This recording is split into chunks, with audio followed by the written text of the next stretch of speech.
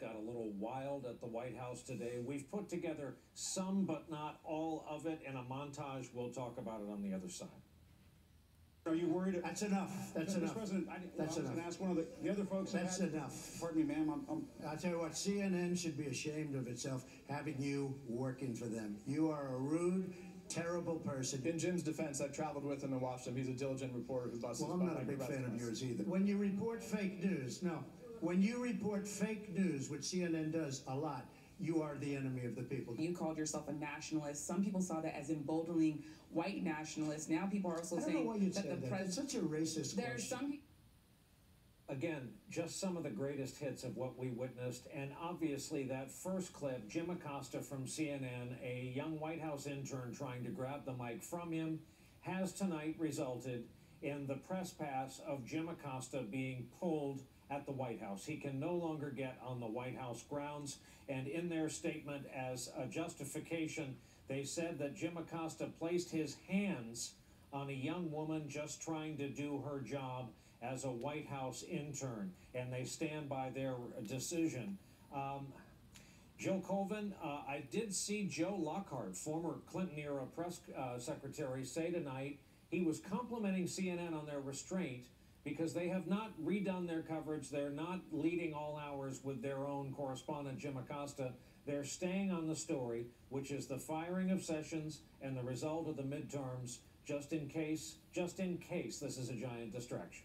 Yeah, when that uh, the story broke, I think Anderson Cooper was just about to start, and you know, I think a lot of us tuned in to see what CNN's response would be, and they waited until well into the show to have Jim Acosta come and talk about what had happened. I think that's an acknowledgement of the fact that we know, look, this is an administration that has long had a very tense relationship with the press. Uh, even during the campaign, uh, the president, uh, then candidate, was revoking reporters' press credentials, banning numerous outlets from uh, the Washington Post to Politico from covering his events. But I think what you're seeing here is also an acknowledgement that the president often uses these fights that he picks with the media to distract from certain storylines that he doesn't want being covered. And what is the news tonight? It is his decision to ask for Jeff Sessions' resignation. And the White House knows that if they push these buttons and they go after the press, the press is going to react and respond as you've seen tonight, and that that will change the direction of the coverage. Uh, Peter Baker, I've been a hard pass holder twice in my life. The first, dare I say, as a White House intern in the late 70s.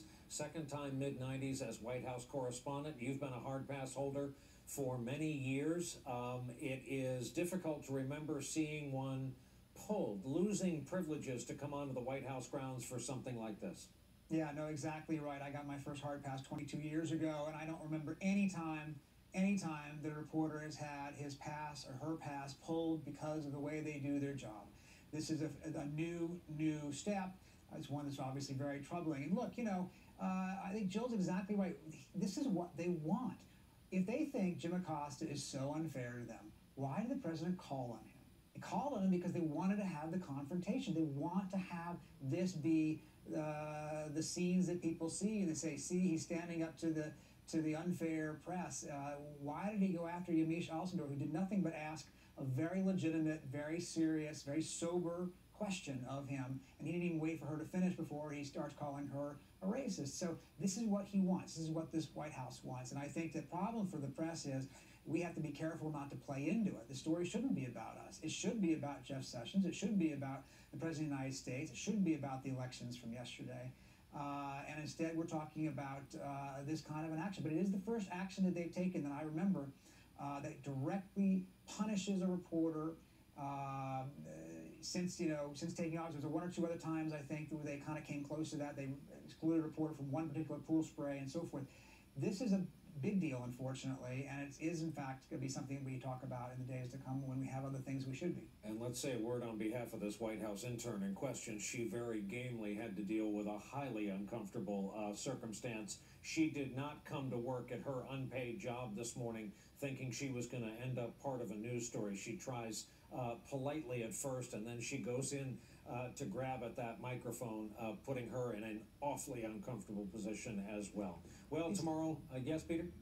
No, it's an awkward. It's an awkward situation all around. No question. She didn't do anything. She wasn't trying. She was trying to do her job. But you can clearly see from that video that Jim did not put hands on her the way Yeah. they are implying. He somehow, you know, rudely assaulted her. He didn't. He specifically said, "Pardon me, ma'am." He was not. You know, you could say you can whatever you want about his behavior, but the truth of the matter is, the White House shouldn't get to decide who pick who chooses. uh, Sorry, shouldn't get to decide who covers them based on whether they like a reporter's behavior or not. That's not the way it works. Important points to make here tonight with our thanks to Peter Baker and Jill Colvin, two veterans of the beat. We appreciate you joining.